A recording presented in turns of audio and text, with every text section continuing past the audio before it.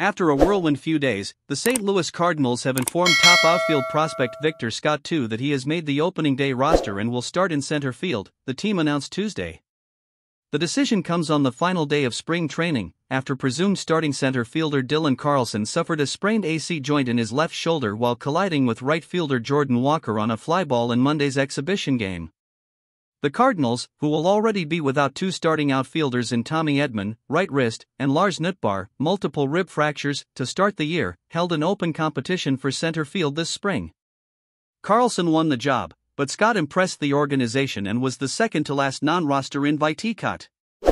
Already leave your like on this video, because this is very important so you don't miss the latest news from St. Louis Cardinals.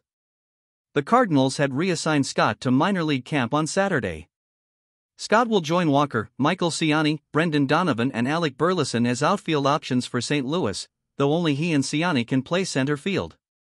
Scott, 23, rose up the Cardinals' prospect rankings after breaking out in his first full professional season last year. He stole 94 bases, tied for the most in the minor leagues, and took home a minor league Gold Glove award while hitting a combined .303 with a .749 OPS across two levels.